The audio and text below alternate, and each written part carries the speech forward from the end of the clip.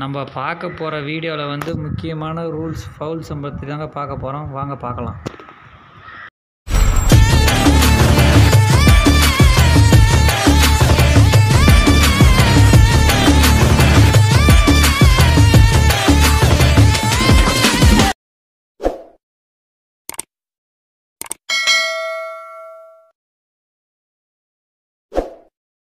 Hello friends இந்த வீடியோவில் நம்ம என்ன பார்க்க போகிறோன்னா சில நண்பர்கள் கேட்டிருந்தாங்க ஃபவுலு கிராஸு லைன் கிராஸு அது எப்படி ஆகுதுன்னு சொல்லுங்கன்ட்டு.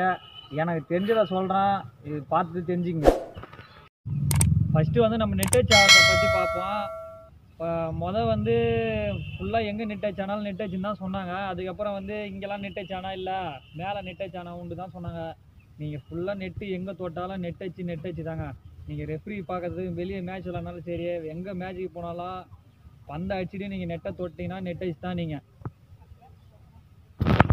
ரெண்டாவதாக வந்து லைன் கிராஸ் எப்படின்னு பாருங்கள் இது லைன் கிராஸ் தான் நிறைய பேர் தெரியாமல் வீட்டாண்ட வந்து நம்மளுக்கு பிரச்சனை வரது லைன் கிராஸ் எப்படி பாருங்கள் இந்த மாதிரி நீங்கள் காலை வச்சு இப்படி தூக்குனா லைன் கிராஸ் தாங்க அது.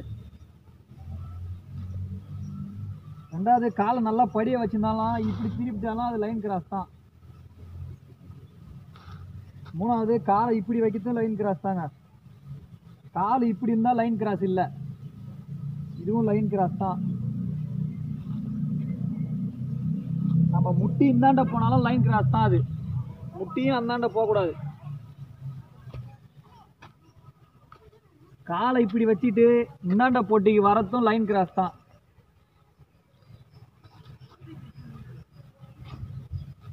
இப்போ ஷட்ரு போடுறோம் சப்போஸ் ஷட்ரு போடும்போது உங்கள் கால் இப்படி போயிடுச்சுன்னா லைன் கிராஸ் தான் அதுவும் கிராஸ் மட்டும் எதுன்னு பார்த்துக்குங்க.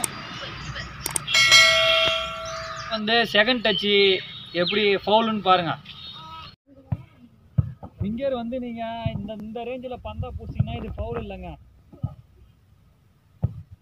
அதே பந்தை ஃபிங்கரை வந்து இந்த ரேஞ்சில் இப்படி விட்டுட்டு பந்தை இப்படி பிடிச்சி இப்படி போடுறீங்கன்னா அது ஃபவுலு பந்தை இப்படி நீங்கள் உள்ளே வாங்கிட்டாலே அது ஃபவுலு பந்தை எந்த அளவுக்கு நீங்கள் ஃபிங்கர் இப்படி உள்ளே வாங்குறீங்களோ அந்த மாதிரி அதுவும் ஃபவுலுங்க இப்படி உள்ளே வாங்கி போகிறது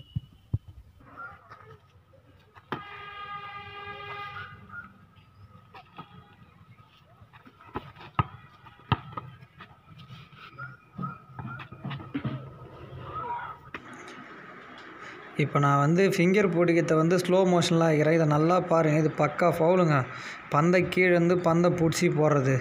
இது மாதிரி பந்து போடக்கூடாது. ஃபிங்கர் நீங்கள் கையை மேலே வச்சுன்னு போட தான் உங்களுக்கு கரெக்டாக வந்து இது பண்ணுவாங்க. இல்லைன்னா இது ஃபவுலுங்க ஃபுல்லாக பார்த்துக்குங்க நல்லா.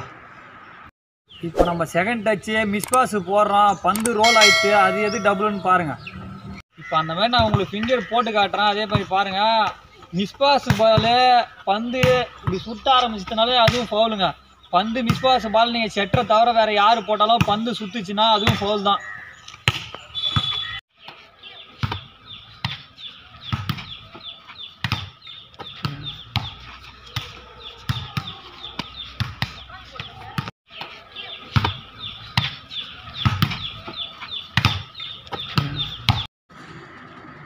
இந்த வீடியோ ஃபுல்லாக பாருங்கள் இப்போ நம்ம மிஸ்பாஸ் பால் சப்போஸ் செட்டரை தவிர்த்து வேறு யாருனா நீங்கள் மிஸ்பாஸ் பால் போகிறீங்கன்னா இதில் கையை நல்லா நோட் பண்ணுங்கள் பந்து இந்த மாதிரி ரொட்டேஷனில் சுற்றிக்கின்னு போயிட்டாலே அது ஃபவுல் தாங்க. நம்ம கையில் பந்து பட்டு செகண்ட் டச்சு சுற்றின்னு போனாலோ இல்லை பந்தை பிடிச்சி போட்டாலோ அது ஃபவுலுங்க செட்டரை தவிர்த்து யார் பிடிச்சாலும் அது ஃபவுல் தான். செட்ரு போட்டாச்சும் பரவாயில்ல. நீங்கள் மற்றவங்க யாருனா மிஸ்பாஸ் பால் நான் போய் போடுறேன்ட்டு பந்து காரக்காரன்னு சுற்றிச்சுன்னா அது டபுளுங்க அது ஃபவுலு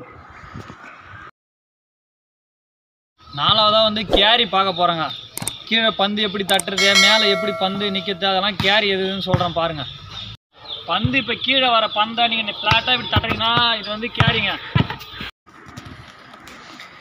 இந்த வீடியோவை நல்லா பாருங்கள் பந்தை வந்து கீழே வந்து உங்கள் கையை ஃப்ளாட்டாக வச்சுன்னு நீங்கள் எப்படி பந்து எடுத்தாலும் அது கேரிங்க. பந்து வந்து கேரி குத்துருவாங்க ஃபவுல் குத்துருவாங்க நீங்கள் பந்தை கையை கீழே வந்து ஃப்ளாட்டாக பந்தை எடுக்க பாருங்கள் நல்லா கையை பாருங்கள் பந்து எடுக்கிறப்ப எப்படி இருக்குதுன்னு. இது மாதிரி பந்தை எடுக்காதீங்க. வந்து நீங்கள் கேர் இல்லாமல் எடுக்கணும்னா பந்தை வந்து அப்படி சுற்றணுங்க பந்தை. இந்த பந்து வந்து நம்ம கேரி இல்லாமல் எப்படி எடுக்குதுன்னு சொல்லியிருப்பேன். இந்த வீடியோவை நல்லா பாருங்கள் பந்து வந்து நம்ம வந்து மொதல் கையை ஃப்ளாட்டாக தட்டணும். ஆனால் இப்போ நம்ம எடுக்கிறப்ப கையை ஃப்ளாட்டாக தட்டக்கூடாது. கையை குழி வந்த மாதிரி வச்சுக்கின்னு கையை பந்தை சுற்றி விடணுங்க. பந்து நம்ம அன்றம் எடுக்கிற மாதிரி சுற்றும்ல அது மாதிரி கையை சுற்றி விடணும். இது வந்து பந்து உங்களால் எடுக்க முடியாத பந்து எடுக்கிறப்ப தான் இந்த மாதிரி இருந்தால் இது ஃபவுல் கிடையாது. ஆனால் ஃபஸ்ட்டு காட்டு வந்து உங்களுக்கு பக்கா ஃபவுலுங்க அது. அஞ்சாவதாக வந்து நம்ம நெட்டுக்கு மேலே ஒன்னாண்டு வைக்கிறப்ப பந்தை எப்படி பிடிக்கணும்னு பாருங்கள் எப்படி மேலே பந்தை தட்டணும்னு பாருங்கள் எது கேரி எது இல்லைன்னு பாருங்கள் இந்த பிளாக் பிடிச்சி மேலே ஒன்னாண்டு வருதுன்னா அந்த பந்தை வந்து நீங்கள் இப்படி இந்த ரேஞ்சில் பந்தை வந்து பிடிச்சிங்கன்னா அது வந்து கரெக்டான பால் அதே பந்தை நீங்கள் பின்னாடி இப்படி பந்தை கையை பின்னாடி விட்டு இப்படி வாரி கடாசிங்கன்னா அது ஃபவுலுங்க அது. அதேமாரி வந்து மேலே இருக்கிற பந்தை வந்து நீங்கள் வந்து இப்படி முட்டி விடலாம். அந்த பந்தை பின்னாடி கையை விட்டு இப்படி தட்டலாம். இப்படி வாரி போட்டீங்க அதுவும் ஃபவுலுங்க. இது போல் நீங்கள் பிளாக் பிடிச்சி ஒன்னாண்டு வைக்கிறப்ப கையை இந்த மாதிரி பின்னாடி விட்டிங்கன்னா இதுவும் ஃபவுலுங்க இதுவும் கேரி ஊதிடுவாங்க நல்லா கிட்ட பாருங்கள் பந்தை பின்னாடி கையை விட்டுட்டு பந்தை தள்ளக்கூடாது. அதே மாதிரி கையை பின்னாடி விட்டுட்டும் பந்தை நிறுத்தக்கூடாதுங்க. இதுக்கு அடுத்த இதில் வந்து பந்தை எப்படி மேலே நிறுத்தணும்னு சொல்லியிருப்பான் அதையும் பார்த்துக்குங்க. இந்த மாதிரி நீங்கள் பந்தை மேலே ஜம்ப் பண்ணி கையை மேலே தூக்கி நிறுத்திங்கன்னா அது ஃபவுல் கிடையாது. இப்போ நீங்கள் நிறுத்தது தான் கரெக்டான பாஸு நான் ஃபஸ்ட்டு உங்களுக்கு காட்டினது வந்து பக்காவான ஃபவுலுங்க உங்கள் கை தலைக்கு பின்னாடி பின்னாடி போயிட்டு நீங்கள் பந்தை ஒன்னாண்டு போச்சாலே அது ஃபவுலு இப்போ எப்படி காட்டுறேன்னு பாருங்கள் இது ஃபவுலு கிடையாது. இது நல்லா பார்த்துக்குங்க. ஃபஸ்ட்டாக வந்து ஓவர் ரீச்சு இப்போ பந்து வந்து நம்ம ஓஸ் பாஸ் வருது அதை உள்ளே கையை விட்டு அடிக்கிறோம் அது எப்படி அடிக்கக்கூடாது அடிக்கணும் தான் பார்க்க போகிறோம் நீங்கள் வந்து நெட்டுக்கு மேலே பந்து இருந்தால் தாங்க நீங்கள் ஓஸ் பாஸ் அடிக்கணும். அந்தாண்ட போட்டியில் இருக்கிற பந்தை வந்து கையை விட்டு அடிக்கக்கூடாது. அதே மாதிரி மிட் சாய் ஆகி நம்ம பொட்டிக்கு வராமல் அந்தாண்டே நிற்கிது லாஸ்ட்டாக அவங்க செகண்ட் டச்சே எடுக்கல. நீங்கள் அதுக்கு முன்னாடி பந்தை அடிக்கக்கூடாது. அதுவும் ஃபவுலு நீங்கள் அவங்கள டிஸ்டர்ப் பண்ணுற மாதிரி. அது எப்படின்னு பண்ணுறது காட்டுறான் என்னன்னு பாருங்கள் இசைக்கு பால் பாருங்கள் எப்படி அடிக்கக்கூடாதுன்னு. இந்த இது உள்ள இந்த ரேஞ்சில் நீங்கள் பந்து இருக்கும்போது பந்தை இப்படி அடிக்கிறது ரொம்ப தப்புங்க. பந்து வந்து இங்கே இருக்கும் நம்மளுக்கு ஓஸ் பாஸ் அடிக்கிறதுக்கு. நீங்கள் இந்த இங்கே இருக்கிற பந்தை உள்ள கையை விட்டு பிடிச்சிங்க அது அவங்களுக்கு தான் பந்து தருவாங்க பாயிண்ட் தருவாங்க. ஏன்னா நீங்கள் அங்கே அண்ணாண்டக்கிறவங்கள டிஸ்டர்ப் பண்ணுறீங்க பந்தை அடிச்சிங்க நல்லா பாருங்க இந்த சைடு விழ வேண்டிய பந்தை நீங்கள் அடியே கூடாது எப்பயுமே. பந்து நெட்டுக்கு மேலே இந்த ரேஞ்சில் இருந்தால் தான் நீங்கள் அடிக்கலாம். அதான் ஃபவுல் கிடையாது. இந்தாண்டக்கிற பந்தை நீங்கள் அடிச்சீங்க அது ஃபவுலுங்க அது. பந்தை அந்தாண்ட ஊற்றி விட்ருவாங்க இது போல் நீங்கள் இன்சைடு பால் வந்து உள்ளே வர பந்தை கையை விட்டு அடிச்சிங்கன்னா ஒரு வேளை ஷெட்ரு அவங்க போட வராங்க இல்லை தேட் டச்சு உள்ளே தள்ள வராங்க அந்த டைமில் வந்து நீங்கள் பந்தை உள்ளே கையை விட்டு அடிச்சிங்கன்னா அது ஃபவுலுங்க பாயிண்ட் வந்து ஆப்போசிட் டீமுக்கு தான் தருவாங்க.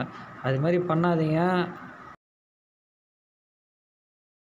ஷெட்ரு போடுறப்ப பந்தை இப்போ ஒன் ஹவரில் இங்கே பிடிக்கிறாங்கன்னா அதையும் அடிக்கூடாதுங்க அதுவும் ஃபவுலு இப்போ தேர்ட் டச் நீங்கள் பந்து கையில் அவங்க கையில் இருக்கும்போது பந்தை அடிக்கூடாது அது நீங்கள் அவங்க டிஸ்டர்ப் பண்ணுற மாதிரி ஆகிடும் உள்ள இருக்கிற பந்தை பிடிச்சிங்கன்னா அது பவுல் கிடையாது. வெளியே இருக்கிற பந்தை நீங்கள் அவங்க ஒன்னாண்டு பிடிக்கிறாங்கன்ட்டு நீங்கள் அடிக்கூடாது ஒன் ஹவரில் கூட அவங்க ஷார்ட் பாஸ் போடுவாங்க இல்லை பந்தை தூக்கி ஆஃப் போடுவாங்க. அவங்க பவுல் ஆக்கிவாங்க அதை. ஆனால் இருந்தாலும் நீங்கள் உள்ளே வர அவங்க ஒன்னாண்டு பிடிக்கிறாங்கன்ட்டு அந்த பந்தை அடிக்கூடாது அதுவும் பவுல் வீடியோவை தொடர்ந்து பாருங்கள் சேனல் உங்களுக்கு பிடிச்சிருந்தா லைக் பண்ணுங்கள் ஷேர் பண்ணுங்கள் சப்ஸ்கிரைப் பண்ணுங்கள்